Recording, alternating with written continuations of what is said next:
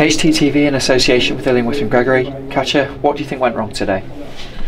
we lost the game. Um, I think concede uh, two goals. What uh, yeah, normally can't happen. Um, yeah, then we lose this game at home, and uh, yeah, it's really hard to, to accept. It's important now that we go into this international break, put this game behind us, and focus firmly on Newcastle United, the next game up. Yeah, 100%. We have no this break, so everyone uh, yeah can go away and uh, can uh, yeah organize his head a little bit and uh, yeah think about other things.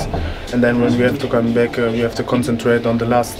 I think it's seven games that we have, and yeah, the first game is then against Newcastle.